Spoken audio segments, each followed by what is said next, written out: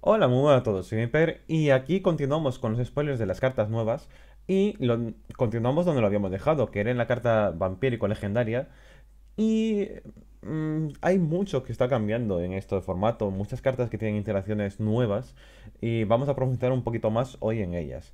Eh, vamos a continuar con esta carta que sería carta neutral, la, recuerda las neutrales suelen ser un pelín más caras de lo que hacen, pero porque entran en todos los mazos.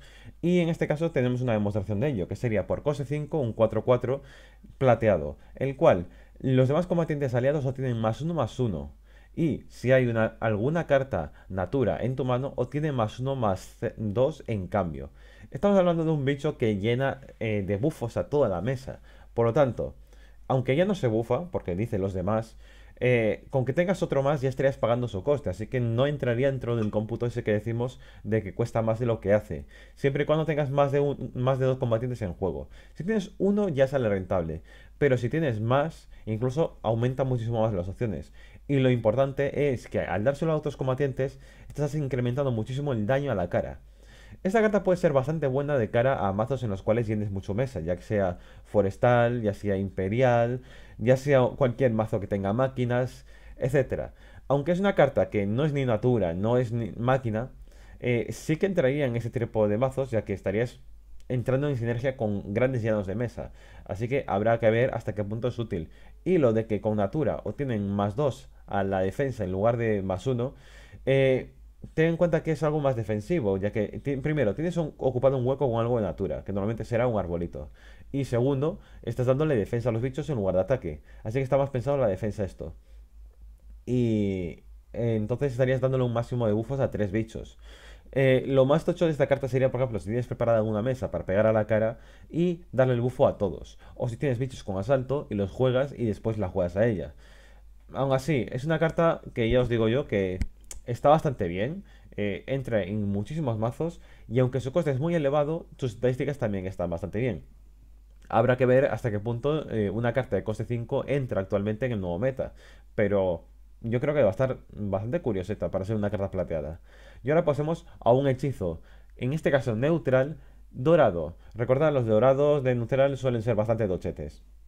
Y en este caso es un hechizo de coste 3, que coste 3 entra en prácticamente cualquier mazo.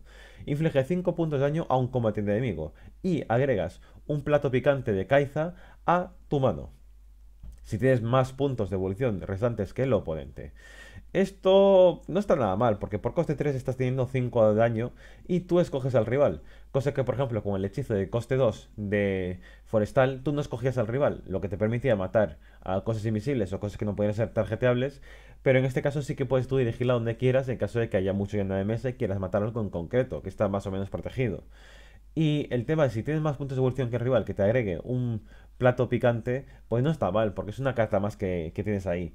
Y si aún no puedes evolucionar, tu número de puntos de evolución es porque es cero. Entonces, esto es ya a partir del turno de evolución, a partir de turno 4 si eres segundo, turno 5 si eres primero, entonces es donde conseguirías el plato picante de Kaiza. Y el plato picante de Kaiza es un pequeño bufo, así que no, era un pequeño chispazo que sería otro daño más, así que no está nada mal.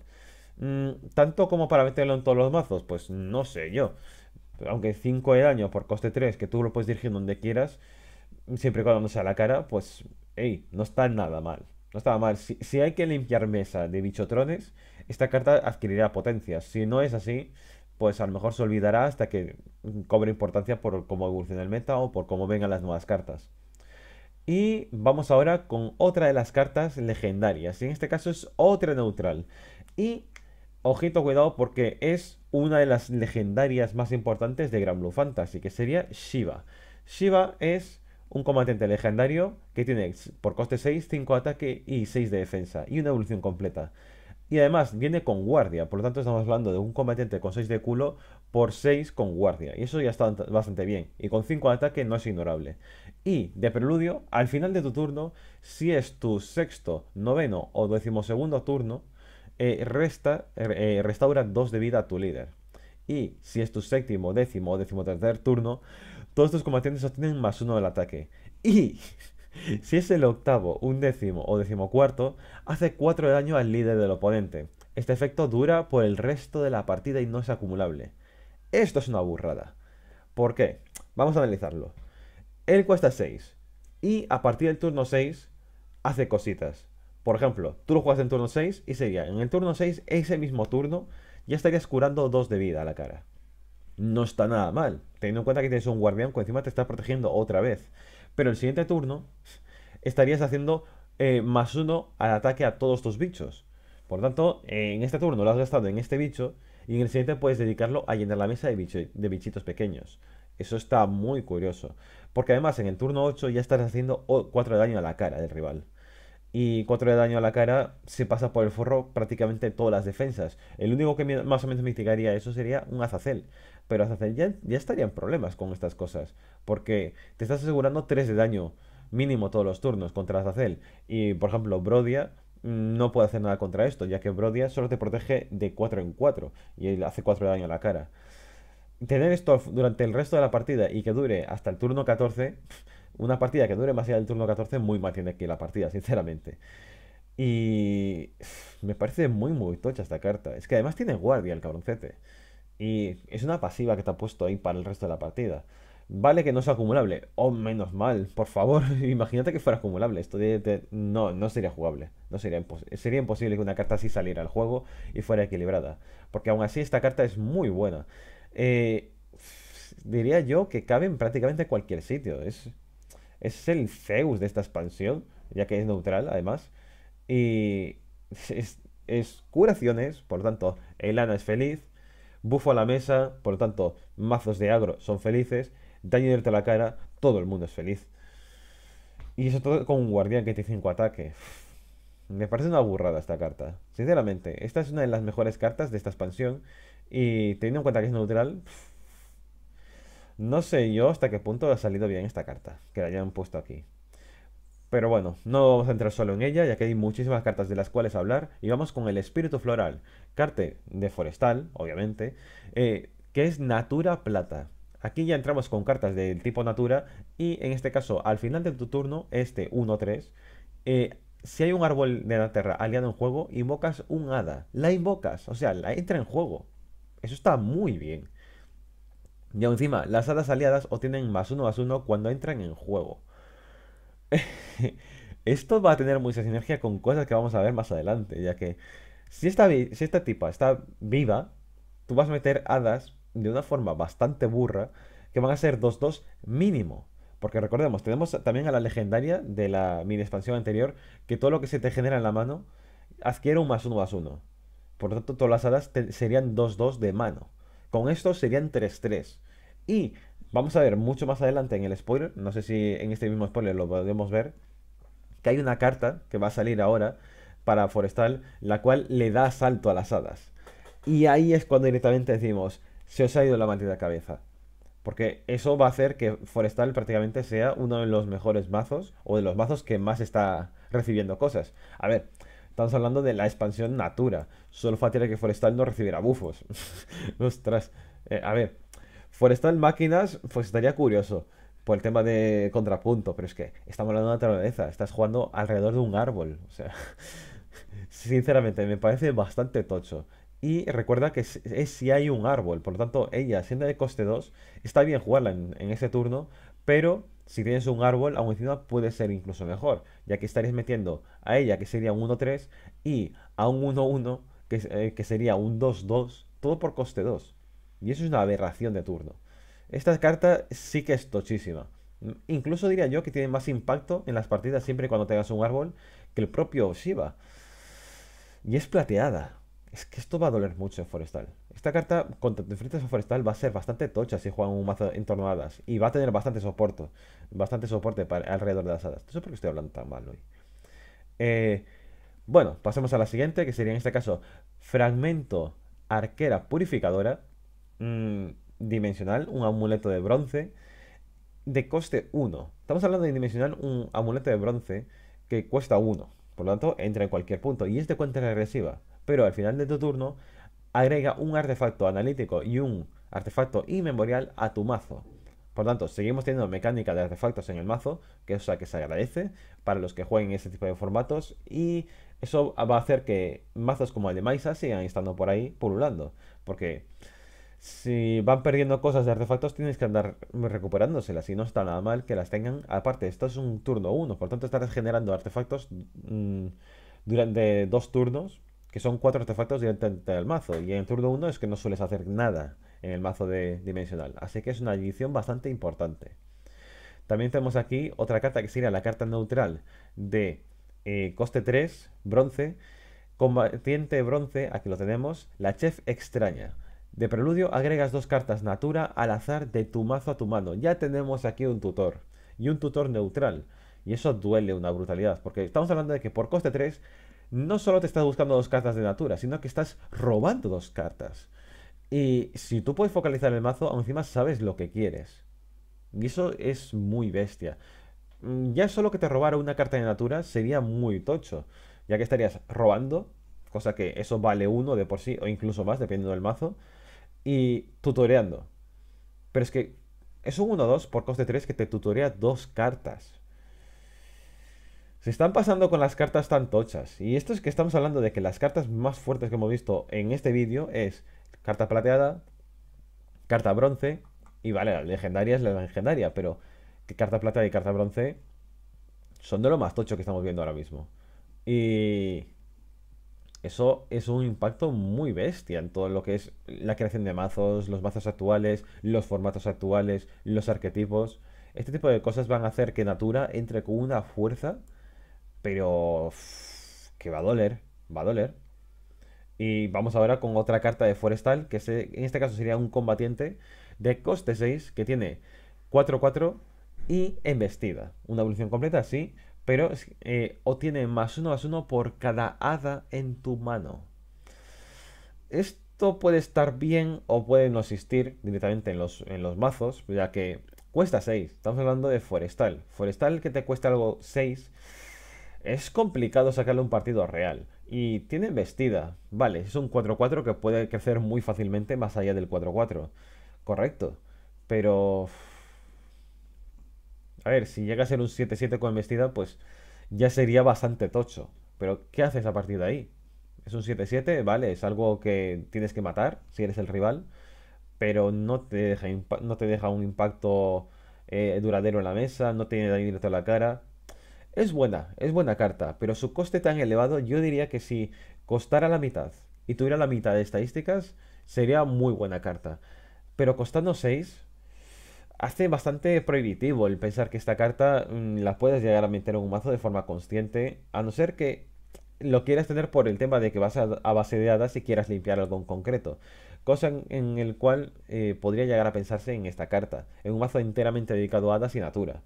En ese caso podría llegar a entrar, pero es que me parece un coste demasiado elevado para la clase en la que está. Y vamos ahora con otra de las cartas, en este caso legendaria, de vampírico. Y es de clase natura, importante. Porque, a ver, coste 7, un 4 ataque, 5 defensa. Y tiene de preludio, recupera 3 puntos de defensa tu líder. O sea, te está curando ya directamente. Y si tienes un gran árbol de la tierra en mesa, este combatiente puede evolucionar sin gastar puntos de evolución. Solo puedes evolucionar un bicho por turno, recordémoslo. Porque esto entraría en coalición con el tema de que eh, Yurius, si estás en venganza, evoluciona solo. La evolución de turno. Y este, por ejemplo, si tienes un arbolito, evolucionaría solo pero lo evolucionas tú de forma anual. No es, no es como Nikar o como Jafnar, que si evolucionan, evolucionan ellos al entrar en mesa o cuando otro evoluciona. No, no. Esto tú haces la acción de evolucionarlo. Por lo tanto, solo puedes evolucionar uno por turno. Y al final de tu turno, si hay 8 más cartas en tu mano, recordemos, 8 más cartas en tu mano. El máximo de cartas en la mano es 9. Eso es, bastante tocho lo que te pide este bicho. Descartas al azar hasta tener 7 e inflige tantos puntos de daño al líder enemigo como la cantidad de cartas descartadas por 2. O sea, sé, em, solo podrías descartarte un máximo de dos cartas que serían 4 de daño. Son 4 de daño gratis, sí, pero no son gratis del todo porque estás descartando cartas, estás perdiendo opciones de la mano. Estamos en vampírico, que no es dimensional, por así decirlo, que te importa, no te importa nada tirar cartas de la mano. Y robas una carta al principio de tu turno, por lo tanto compensaría un poquito este descarte y profundizaría en el mazo, aparte te quitaría la borralla que no quieras. Pero esa es una acción que tú no controlas. O sea, siempre y cuando tengas más allá de 7 cartas en la mano, va a hacer estabilidad. Y vas a tener que andar descartando cosas. Aún así, con 7 cartas tienes bastantes opciones. Y el efecto dura durante el resto de la partida. Y no es acumulable, obviamente. Porque si no, imaginaros a ver, no estaría tan mal, porque estaría entrando dentro de, de lo que es el hachero. Por ejemplo, el hachero de Forestal, que cada vez que lo jugabas, a partir de jugar X cartas en un turno, hacía 2 de daño por cada hachero que habías jugado a la cara directamente. Y eso es era un burst bastante tocho. Había mazos dedicados expresamente a eso. Pues en este caso sería una opción de, en un mazo, por ejemplo, hablemos ya de máquinas, máquinas de, de vampírico, tenemos el tema de que tenemos muchísimo robo con el demonio, tenemos robo con la pesadilla, tenemos incluso el pacto de sangre. Hay mucho robo en ese mazo. Entonces, podría pensarse en el tema de llenar la mano constantemente, jugar esta carta. Mm, no sé yo hasta qué punto sería útil porque está entrando en conflicto en el turno 7 con el propio hecho de jugar a mono. Eh, y al fin y al cabo, si descartas muchas cartas, el Slane no le podría sacar tanto partido, ya que no podrías eh, jugarlo por su habilidad extrema máxima o estarías estando siempre ahí cerquita de poder hacerlo. No sé hasta qué punto esta carta puede ser útil, pero ya os digo yo que sus habilidades no son nada malas. Hacer daño igual a las cartas descartadas por dos es muy tocho. Esto nos recuerda a ese mazo que existió en, en Dracónico que descartabas la mano y hacía daño a la cara. Y esto sería una opción un poquito viable de metérselo en vampírico. Ya os digo, el único problema que veo yo es el coste, que entra en conflicto con los demás costes que tenemos en Vampírico. Y por lo demás, pues no está nada mal, sinceramente. Mm. Aparte de evolucionar solo, y si evoluciona solo es un 6-7. Habrá que verlo, habrá que verlo. Lo bueno es que hay mucho robo con el tema de los arbolitos y eso puede que lo llegue a compensar.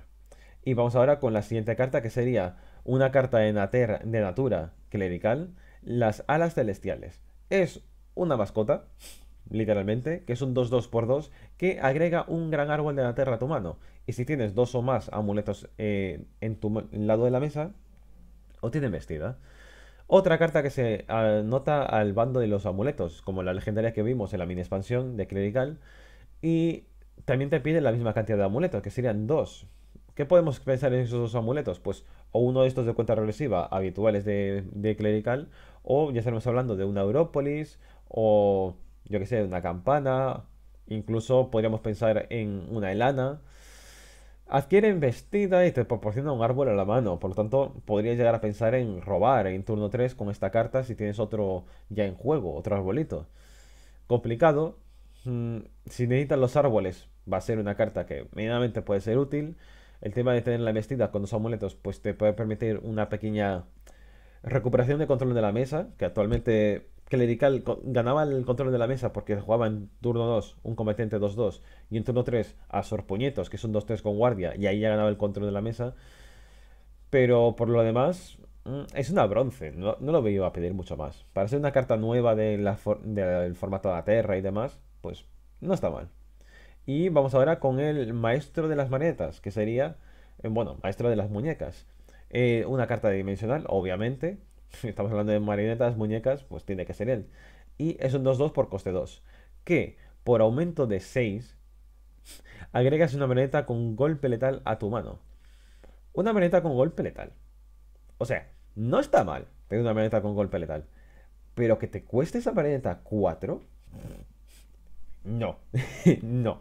Es un coste que no, no te puedes permitir no me parecen para nada útiles ese, tipo de coste, porque es que es demasiado elevado. No, no, este, coste es demasiado bestia. No, ni lo contemplo. Ay, demasiado alto.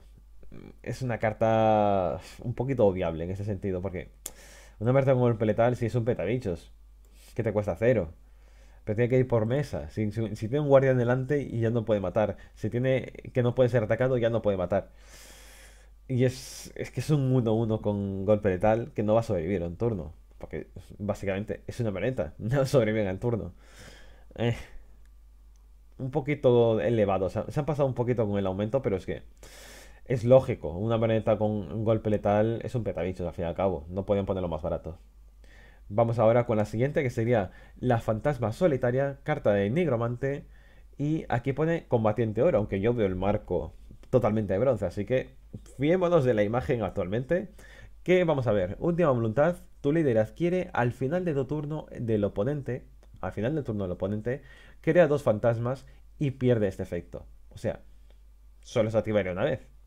Mm, básicamente es eh, que tienes durante un turno dos fantasmas asegurados para tu turno. Empiezas la mesa con dos huecos en la mesa que no pueden ser eliminados por el rival. De cara a una Ferris, está bastante bien. Porque no tienes que andar metiendo tú los fantasmas de forma básica desde la mano. Y tienes dos asaltantes ahí preparados. Mm, yo creo que esta carta puede ser bastante buena de cara a Ferris. De cara a todo lo demás, pues sinceramente no, a no ser que necesites robar y para eso los quiero matar a los fantasmas.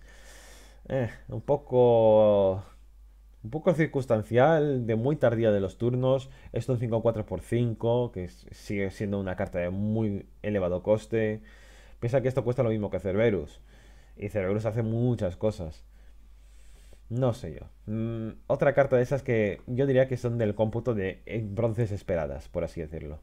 Y vamos ahora con otra más, a ver si viene una legendaria y así cortamos el vídeo, que ya son 21 minutazos. El espíritu ovino, Volvemos con las cabras, volvemos con los animalitos para nigromante que quieren morir. Y en este caso tenemos una carta bronce 2-2 por coste 2 de tipo natura, que de preludio agregas un árbol de Naterra a tu mano. Sería la equiparación del el combatiente que vimos en clerical, solo que de última voluntad, aún encima esta carta eh, te da una sombra extra. Por tanto, ya solo por la sombra extra es muy buena. Recordemos una sombra extra por un bicho que es un 2-2, pues eso me recuerda a los esparteros. Y eso es muy útil de cara a jugar alrededor de las sombras, ya sea Aisha, ya sea Hades. Son mazos que requieren bastantes sombras para poder jugar en torno a ellos. Y esta pues no es una mala edición para esos mazos. Vamos ahora con una carta dorada, en este caso para Nigromante, otra más para esta clase, que es el, el elefante inmortal. A ver si, si corresponde con su nombre. Es por coste 5 un 4-3, el cual no puede recibir efectos ni hechizos. Muy importante esto porque no puede ser matado por golpe letal y es un 4-3. Y tampoco puede recibir hechizos. Por lo tanto, ese 3 de culo es muy importante ya que va a tener que estampar cosas contra él para poder matarlo. Y de última voluntad otorga a un... ¿eh? ¿Cómo, cómo? Estoy leyendo fatal. Ay, Dios mío. Ya llevo demasiados minutos hablando. Última voluntad otorga un gran árbol de la tierra aliado las últimas palabras de invoca este combatiente. Y aquí estaríamos hablando de la inmortalidad del elefante, ya que si tienes arbolitos, al romper un árbol, te entraría otra vez un 5 de coste, de forma gratuita. Y siempre cuando tengas arbolitos, que es bastante fácil tener arbolitos si tienes el mazo en torno a ellos, pues tendrías un 4-3 constantemente en mesa. Sería una versión de, del, del duelista, pero bastante óptima de cara a los arbolitos de la tierra. Además, te permitiría sacarle más partido a romper los árboles más que para poder robar. Me gusta esta carta, me gusta, es un concepto bastante bueno. Ya veis, un coste 5 bastante mejor que la que vimos antes de Nigromante. Y la inmortalidad aquí es más o menos real, siempre y cuando tengas arbolitos. Es más, esta sería incluso mejor que la carta legendaria que había, que si evolucionaba, eh, eh, volvía otra vez a la mesa y evolucionaba solo con, con, con 4 de, negromancia. En este caso sería bastante, bastante buena. Me parece una adición bastante importante para Negromante. Y recordar, no está gastando sombras, por lo tanto sigue teniendo sombras constantemente, ya sea con los árboles o con la muerte del propio elefante. Y a mí me parece bastante óptimo. Pasemos ahora a la siguiente, que sería una de las cartas de mana, en este caso la dimensional, y veamos lo que hace a partir del turno 10. Añades un artefacto radiante a tu mano. Artefacto radiante, recordemos, es el bicho de los artefactos que tiene asalto. Por lo tanto, tendríamos una opción más de pegar a la cara, sin depender solo de Maisa, y te lo está regando a la mano. Por tanto, no está nada mal. Estamos hablando de turno 10, por lo tanto, si no has podido desarrollar una, una Maisa es porque o has perdido todas las evoluciones o porque no has podido directamente, porque no hay, no hay posibilidades de jugar una Maisa por no has tocado o, lo que sea. Entonces, O tener otra opción de tener bichos con asalto, pues no está mal. Te podrías centrar un poquito más en pegar a la cara y con esto pues pegar una sorpresa en los turnos 10 en adelante. Aún así, mm, el radiante no suele ser el más importante siempre cuando tengas el, el, acelerador, porque con el acelerador vas a ir buscándote con los analíticos y demás a las maisas y al final maisa es la que gana. Pero esta es una opción más y las opciones nunca están mal, nunca están mal que sean incorporadas. Vamos ahora con otro erizo, el erizo que es un combatiente mm, bronce de dimensional de clase natura, que es por coste 2, un 2-2. Estamos viendo muchos que son de esta mecánica, o sea, un 2-2 por 2 que te proporciona un árbol de la tierra. Y además tiene otra habilidad que si resonancia está activada, gana investida. Incluso este es más fácil de jugar que el, erizo, este mascota que hay en clerical. Por lo tanto, esta carta les opera con creces eh, tanto como para sacarle un partido real, pues no tanto, porque la resonancia solo atractiva investida. Eh, sí, te proporciona un árbol en la tierra, pero actualmente ahora mismo en, dimensionales funciona muy bien en torno a Maisa y artefactos. Habrá que ver si en las próximas expansiones, la mini expansión o cuando se complete este spoil, estos spoilers de cartas de la nueva expansión, le sacamos un partido real a la Terra comparado con lo que tenemos en Dimensional actualmente. Pero esta sería una opción interesante. Y ahora vamos, ya que sí, con la última carta del spoiler de hoy, que sería el Mecha Gorila. Y el Mecha Gorila es una maldita burrada. Ahora vais a ver el por qué. Porque es un combatiente legendario de Dimensional que cuesta 8 y es un 8-8. Directamente es un 8-8 por 8. Eso es una maldita burrada. Pero ojito, cuidado, porque si resonancia está activada o, y aquí el O es muy importante, un gran árbol en la Tierra está en juego, o sea, cualquier amuleto de estos ha durado hasta este turno, gana asalto. Es un 8-8 con asalto. Prácticamente asegurado. Que la resonancia la puedes activar y desactivar como te apetezca actualmente en dimensional. Y si además le añades que si con tener un arbolito en la Tierra también lo tienes, ¿Dónde vas, bicho? Es una burrada este bicho. Que además tiene una evolución completa, que es que si tú lo evolucionas, estás pegando de 10 a la cara. En el turno 8, así. Es de, dejo caer un, un, un mecha gorila y ya está. Es una burrada este bicho. Y... No sé si va a sustituir a Maisa. Si se juega un mazo de Naterra, obviamente este será la Maisa del mazo de Naterra. Pero... Joder. es muy bestia, ¿eh?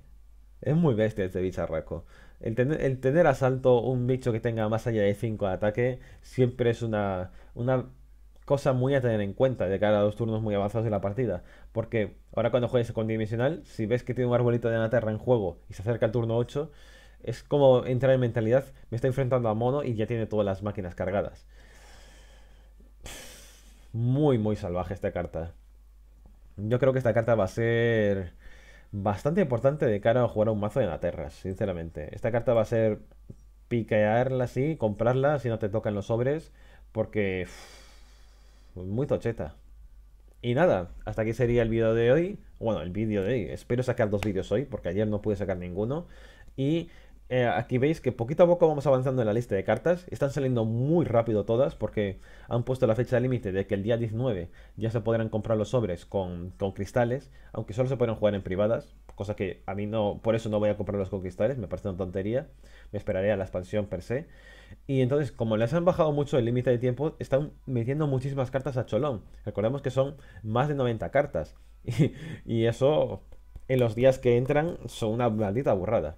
Y nada, me despido aquí. Nos vemos en el próximo vídeo. Hasta luego. Hasta otra. Y como siempre tengo que cortarlo de forma manual porque aún no tengo el ordenador arreglado. No me lo han sabido arreglar los muy cabrones. Adiós.